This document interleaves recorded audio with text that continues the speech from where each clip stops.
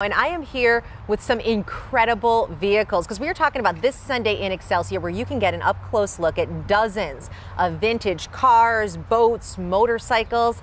Very neat event. Here to tell us about the 10,000 Lakes Concours d'Elegance. I said that right, You didn't did, I? Okay. perfectly. This is Jay Marie Fieger here to tell us all about it. What an event. Tell us about Oh, it. We're in our seventh year of celebrating automotive history. It truly is on the show field. A beautiful day by the lake. We'll have great food, great wine, lots of live music and entertainment, a kids area.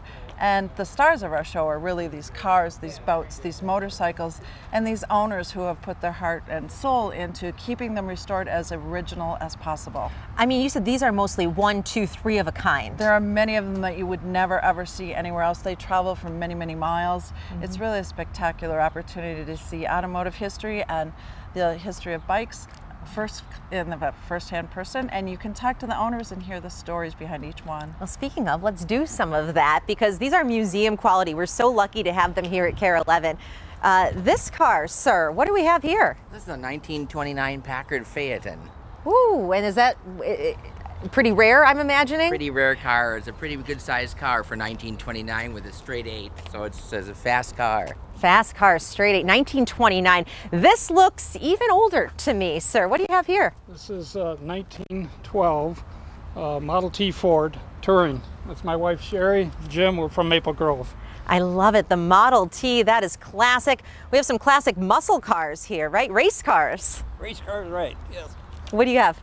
It's a 1954 Austin Healey with a Le Mans kit. Whew, that is gorgeous. And this is the Camaro, right? The classic Yes, Camaro. Yes. This is a 1968 Rally Sport Super Sport convertible. So it's really two cars in one. They didn't very often put those two combinations together. And the car came from Broken Arrow, Oklahoma, and it didn't have air conditioning. Oh, does wow. All right, now it does. They've modernized it a little bit. We have a gorgeous boat here you can see.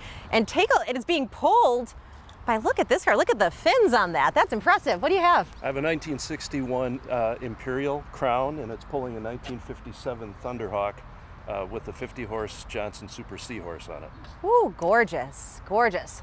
And let's move on over here. We, we're gonna power through here. We got just a few left to look at. I can't believe how many people turned out to bring these here. It's Kinda really neat, isn't special. Yeah, very special. What do you have here? We have a 1930 Model A Ford.